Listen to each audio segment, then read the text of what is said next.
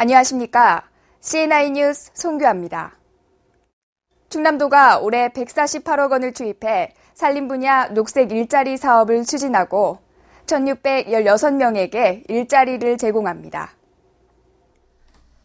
이번 사업은 저소득층과 청년 실업자에게 안정적인 일자리를 제공하고 산림 전문가 양성, 산림 바이오매스를 효율적으로 활용하기 위해 추진됩니다.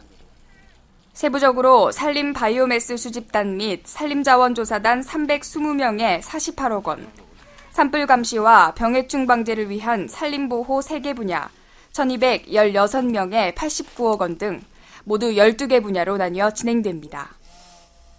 산림 분야 녹색 일자리 사업에 참여를 원하는 도민은 해당 시군 산림부서에 문의하면 자세한 설명과 안내를 받을 수 있습니다.